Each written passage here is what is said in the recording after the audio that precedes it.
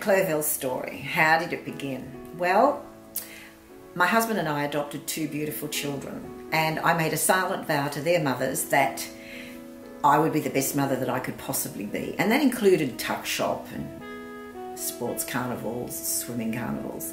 So I knew that when they went to school that I wouldn't be able to stay at home because I'd be bored. So I knew that I, I needed a business because I couldn't keep begging a boss for a day off.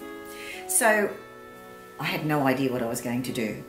I put Natasha into childcare for six months as I had to go back to work and I thought, wow, I could do this. And so that's how the story began. And I have to say to you, when I first started on this beautiful journey, I had no idea what I was doing.